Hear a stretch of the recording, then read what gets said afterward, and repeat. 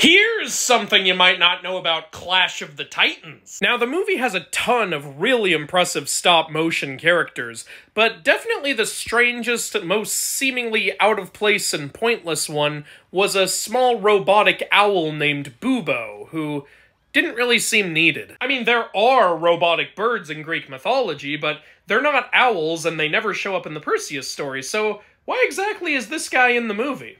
Well, believe it or not, the answer is Star Wars. Star Wars came out just a few years before Clash of the Titans. It was obviously a huge worldwide success, and one character who popped off great with the kids was R2-D2. So the creators of Clash were like, oh, we're gonna need our own R2-D2 in a Greek mythology movie. You know, for the kids. Honestly, my favorite thing to come out of Bubo was his cameo in the 2010 remake. What is this? Just leave it.